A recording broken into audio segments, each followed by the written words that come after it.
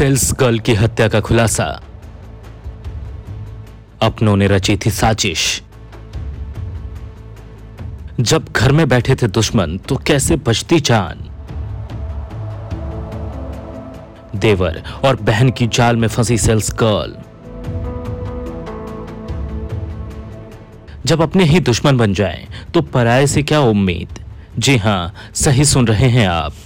बेगूसराय के चर्चित Tanishq sales girl की हत्या मामले में कुछ ऐसा ही हुआ है।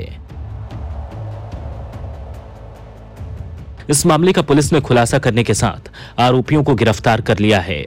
ज़िले के एसपी योगेंद्र कुमार ने बताया कि नेहा की हत्या की साजिश उसकी बहन और देवर ने रची थी। इस मामले में ब्लैकमेल करने का भी एंगल सामने आया है। चलिए सुनाते हैं ज़िले के एसपी ने क्या कुछ कहा है।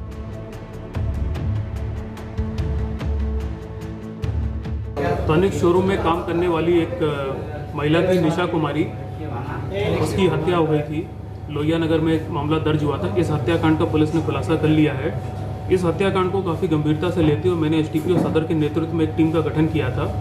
उस टीम ने प्रोफेशनलिज्म के साथ अपना काम किया टेक्निकल एविडेंसेस गैदर किए। और कल इसमें दो लोग की गिरफ्तारी हुई है।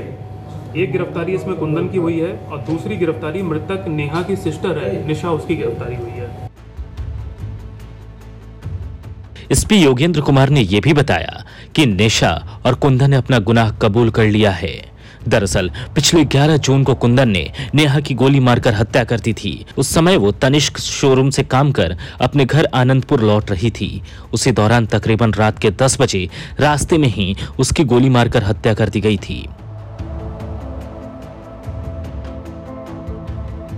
फ़िलहाल इस मामले में पुलिस एक और आरोपी की तलाश कर रही है।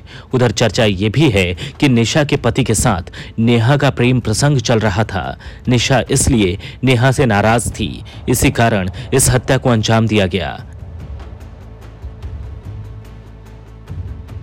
चर्चाएँ एक तरफ़ और इंसाफ दूसरी तरफ़। अब ये सब कुछ अदालत में तय होगा और गुनाहों का हिसाब वही होगा। जीवेश रंजन, बेगूसराय।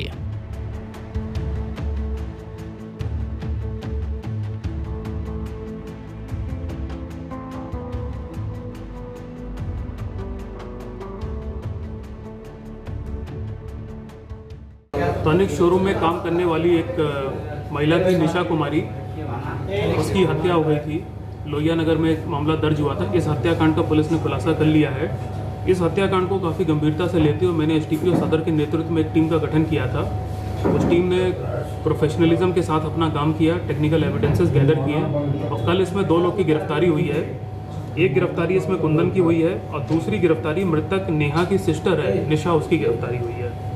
देखिए, पूछताछ में दोनों ने अपना अपराध स्वीकार किया है। अब मामले की जो जड़ थी, जो उसका कारण था, वो ये था कि ये जो कुंदन है, ये मृतक नेहा की एक सिस्टर है, उसके साथ इंटेंगल्ड था। और इनके लव अफेयर के जो सबूत हैं, कुछ आपत्तिजनक फोटोग्राफ्स हैं, वो मृतक नेहा को मिल गए थे और नेहा लगातार कुंदन पर दबाव डाल रही थी कि अब तुम इससे शादी कर लो। लेकिन कुंदन इससे रिफ्यूज़ कर रहा था। इसी बीच, जो नेहा की एक और सिस्टर है, निशा, वो कुंदन के पक्ष में थी। उसका ये कहना था, तुम ये शादी मत करो। और इसके बाद मृतक नेहा ने कुछ साथियों के साथ में इसकी पिटाई भी करवाई थी कुंदन की। तो ये सारी बातों से कुंदन बदले की आग में जल रहा था। और निशा ने भी इसको भड़का दिया कि तुम इस हत्याकांड को अंजाम दे दो इसको रास्ते से ही हटा दो। इसके बाद कुंदन ने अपने एक साथी के साथ मिलकर यह प्लान बनाया। इसका एक साथी है वो भी अपराधी है कर्ज में डूबा हुआ था। कुंदन और इसका एक, एक साथी रात को चूँकि इनको निशा के द्वारा सब बता दिया गया था कि मृतक नेहा तनिक शोरूम में कब जाती है कब निकलती है उसकी दिनचर्या क्या है तो इन लोगों ने रात के समय में स्कूटी से वो आ रही थी उसको सही जगह पर रोका उससे बातचीत की और उसको गोली मार के वहाँ पर घायल कर दिया उसके बाद वो मर गई। तो कुल मिला के इसमें दो लोग की गिरफ्तारी हुई है दोनों को जेल भेजा जाएगा और एक और जो साथी था कुंदन का पुलिस उसकी तलाश कर रही है उसकी भी गिरफ्तारी जल्दी की जाएगी। तो ये जो योजना हत्या की तैयार की गई थी क्या क्या सामने आया है? कितने दिनों से ये चल रहा था योजना? देखिए हत्या की योजना इसने काफ़ी दिनों से पहले तैयार कर ली थी। होली के आसपास ही जो हम लोग को जानकारी पता चला है इसका प्लान बन गया था। लेकिन घटना को कार्यरत करने के लिए इसको साथ में एक अपराधी और चाहिए था। तो इसका एक दोस्त है जो कि खुद कर्ज में डूबा हुआ है तो उसका भी इसने सहयोग लिया। दोनों लोग हथियार लेके गए थे और दोनों ने ही गोली चलाई है। ये इन लोगों ने स्वीकार किया है। तो इसमें निशा की जो, निशा का जो दोस्त है, वो क्रिमिनल कंस्पेरेसी का आया है पूरी तरह से। और बाकी कुंदन और इसके एक साथी का एक्चुअली गोली चलाने का हम लोग एविडेंसेस मिले हैं। तो दोनों को आज जेल भेजा जा रहा है और तीसरी गिरफ्तारी पुलिस इसमें जल्दी कर लेगी।